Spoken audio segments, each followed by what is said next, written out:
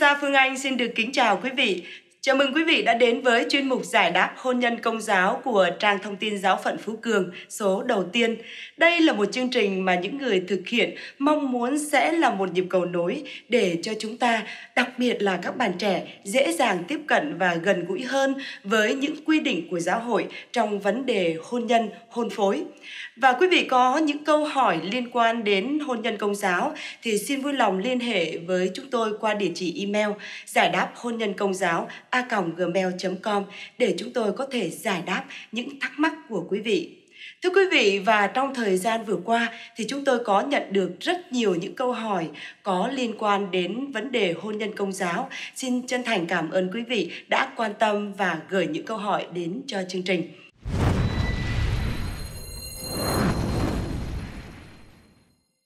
Và kính thưa quý vị, ngày hôm nay để giải đáp những câu hỏi liên quan, chúng tôi có mời đến chương trình vị khách mời đặc biệt xin được giới thiệu đến quý vị cha Phêrô Nguyễn Hùng Hải đến từ dòng Thừa Sai Đức Tin.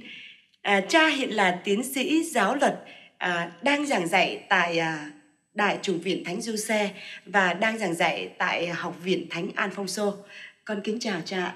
À, chào chị Teresa Phương Anh, à, chào khán thính giả.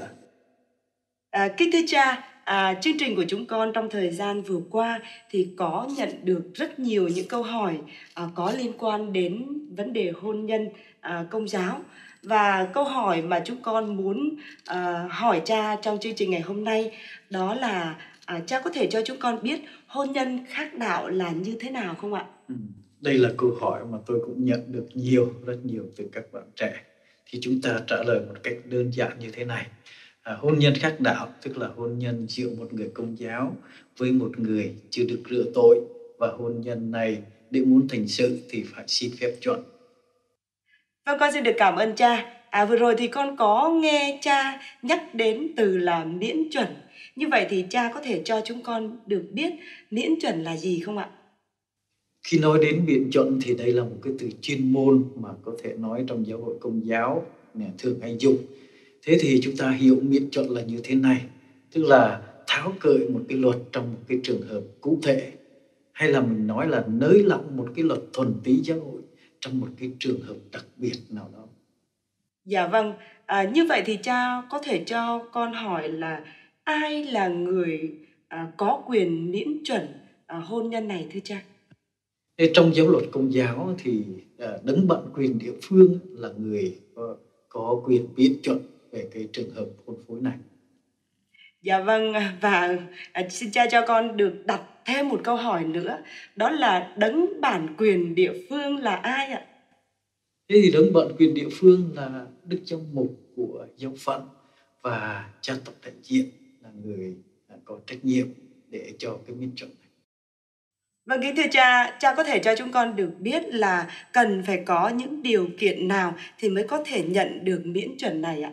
À, ờ, khi chúng ta nói chúng ta xin một cái điều gì thì bên cái người mà người ta cho thì bao giờ người ta cũng đòi hỏi những cái điều kiện. À, thế thì khi mà mình làm đơn mình xin cái đơn xin miễn chuẩn về cái hôn phối này à, thì mình phải có những cái điều kiện như sau. À, thứ nhất là cái phía người công giáo mình phải tuyên bố mình là sẵn sàng mình tránh mọi cái nguy cơ mà mất đức tin rồi mình phải thành thật mà mình phải cố gắng hết sức để làm cho con cái của mình à, được rửa tội rồi được giáo dục trong giáo hội công giáo.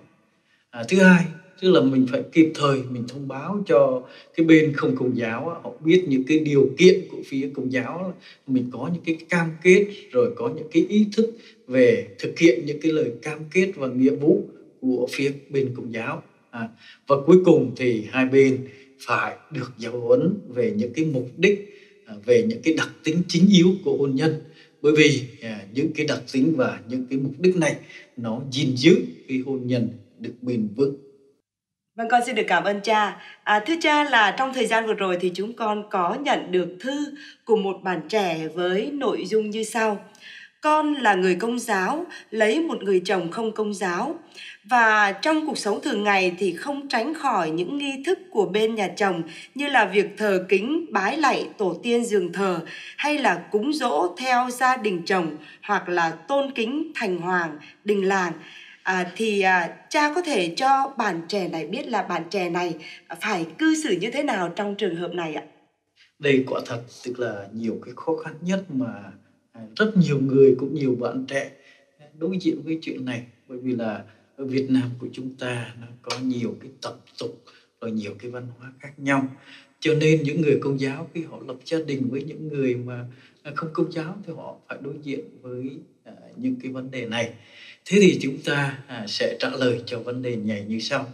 Chúng ta căn cứ vào hai cái văn kiện à, của hội đồng giáo mục Việt Nam cái văn kiện thứ nhất tức là văn kiện về vấn đề thờ cúng ông bà tổ tiên à, được hội đồng giám mục à, xuất bản vào ngày mùng 7 tháng 10 năm 2019 thứ hai cái văn kiện thứ hai là văn kiện cho vấn đề mục vụ tri dân à, của ủy ban tri dân à, hội đồng giám mục Việt Nam xuất bản cho cái văn kiện này vào năm 2019 thì hai văn kiện này trả lời cho chúng ta rõ ràng về những cái điều kiện tốt để chúng ta có thể à, thực hiện những cái điều này như sau. À, thứ nhất là cái người à, à, công giáo mình về như vậy đó, thì mình được thực hành những cái việc như là đốt hương đốt nhang để đến trên bàn thờ gia tiên. Thứ hai là mình được vái lạy trước bàn thờ gia tiên hay là dường thờ tổ tiên. À, vì những đây là những cái cử chỉ thái độ hiếu thảo tôn kính đối với ông bà tổ tiên thôi. À, và thứ ba tức là những cái ngày ký nhật tức là ngày dỗ á, à, được cúng dỗ trong gia đình theo cái phong tục địa phương rồi trong cái tang lễ thì mình được à, vái lại trước cái thi hài của người ca cố rồi được à, đốt hương à, vái theo những cái phong tục đó ha. Và à, được tham dự cái nghi lễ tôn kính vị thành hoàng quen gọi là phúc thần tại các đình làng. Điều này là để tỏ lòng tôn kính biết ơn đối với những vị mà có công với dân tộc à, có công với lại cái dân làng của mình Vâng, con xin được cảm ơn cha đã đáp lại lời mời của chương trình đến đây để giải đáp những thắc mắc cho các bạn trẻ. À, con xin được cảm ơn cha. Kính thưa quý vị, với những câu trả lời của cha Phêrô thì à, chuyên mục giải đáp hôn nhân công giáo đến đây là kết thúc. Xin cảm ơn quý vị đã quan tâm theo dõi. Nếu quý vị có những câu hỏi thắc mắc liên quan đến hôn nhân công giáo thì xin vui lòng liên hệ với chúng tôi qua địa chỉ email giải đáp hôn nhân công giáo a gmail.com. Chúng tôi xin được giải đáp cho quý vị à, thông qua chương trình với những số sau. Còn bây giờ những người thực hiện xin được kính chào tạm biệt.